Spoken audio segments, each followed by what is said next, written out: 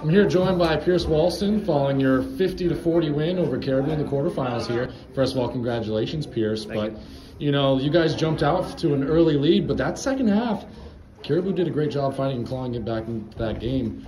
What was going through your mind when that run and that lead started to shrink a little bit? Uh, we knew they were going to come back and battle hard when we got in the second half. That was the biggest topic. Uh, we just had to try and sit, play better defense, and then turn defense into offense because that's what we strive for. And you personally had a great game. Uh, you went 17 points, seven rebounds, five assists. You did a number of other things that don't show up in stat sheet. Coming into today, what was your plan of attack offensively, and what were you seeing out there that you were trying to take advantage of? I mean, we just played them, and I drove a lot of the time.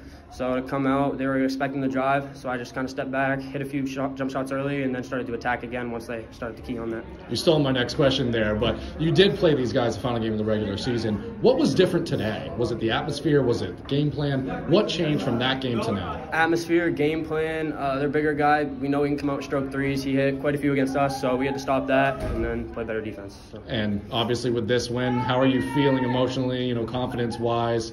Where does this win have you guys feeling right now? I mean, we got wins over Presque Isle, so it's going to be back to the lab, get ready, get better.